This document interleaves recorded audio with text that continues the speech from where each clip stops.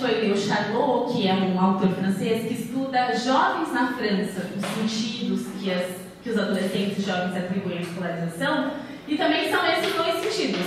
Ou as pessoas querem aprender algo muito pontual e específico, e aí aquele currículo todo que a gente olha não tem tanto sentido, ou as pessoas querem um certificado.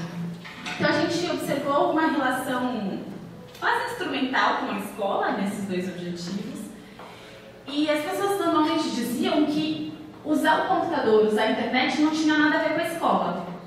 Mas a gente observou que tinha a ver, porque quanto mais escolarizadas as pessoas, mais, mais elas usavam o computador e a internet.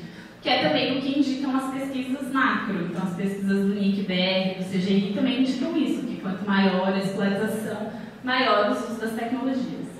E é claro que uma coisa alimenta a outra, uma coisa tem a ver com a outra.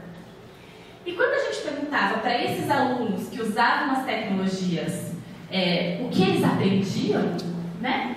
usando a internet e se eles queriam aprender a usar a internet na escola, se fazia sentido, ninguém achava que fazia sentido, porque escola era uma coisa e tecnologia era outra.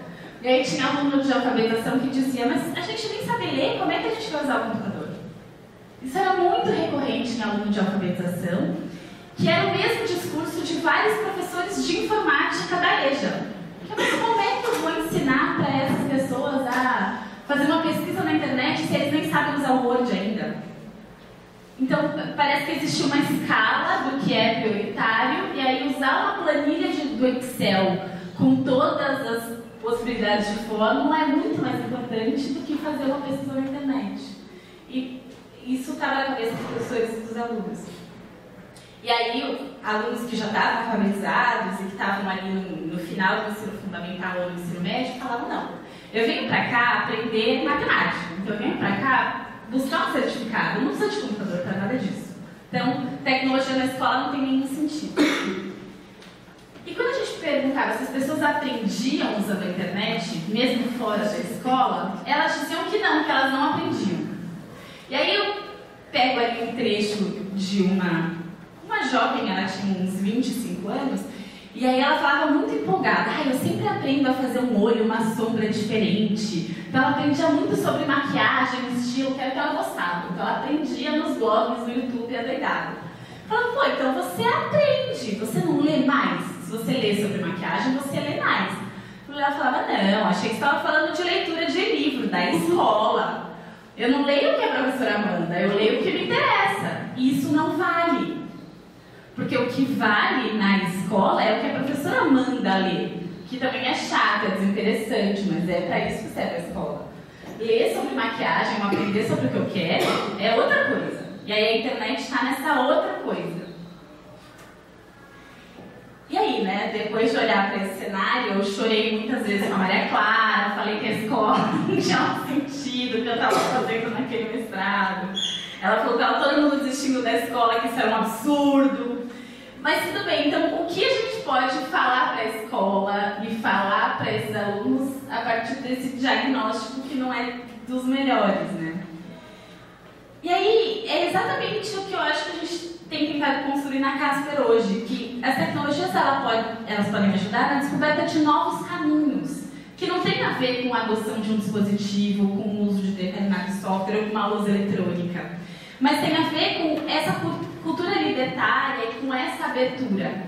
Então, assim, cada ponto ali daquela rede ser um nó de construção de conhecimento, né, das pessoas construírem isso em rede, acho que esse é o grande aprendizado que a escola pode ter com as tecnologias, que é de uma mudança estrutural.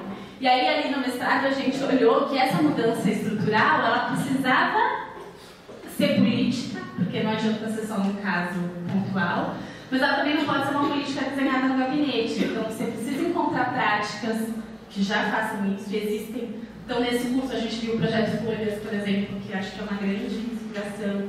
E tem várias outras de como é que você consegue construir políticas a partir dessas práticas.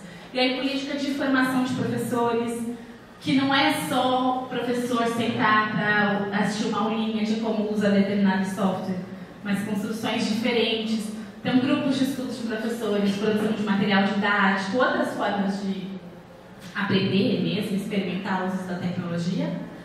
Precisa de banda larga, precisa dessa infraestrutura, senão não dá para fazer nada também. E isso ainda é um grande desafio no Brasil, a gente não tem banda larga nas escolas. Recursos educacionais abertos, e a gente falou disso meio encontro desse curso, não preciso repetir agora. E criação de projetos e programas de EJA que atendam às expectativas de aprendizagem ao longo da vida, que também não vai dar muito tempo é, de elaborar aqui, mas que é de entender todas as pessoas aprendendo dentro da escola e fora dela o tempo todo. E a gente, as políticas de EJA, na nossa concepção, precisam dar conta dessa aprendizagem que também é fora da escola.